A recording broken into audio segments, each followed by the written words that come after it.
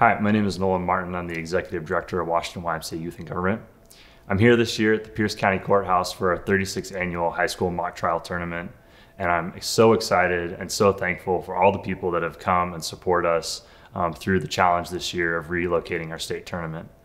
I'd really like to thank all of our general sponsors and all of our legal sponsors um, for your 2023 2024 donations that really make it possible for us to lower the cost of this program to as many teams that we can around the state.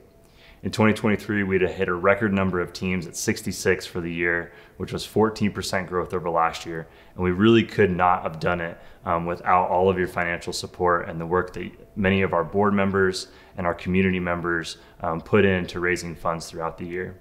So, again, I want to thank you for all your support, uh, and I look forward to meeting you or seeing you at one of our next events. Thank you.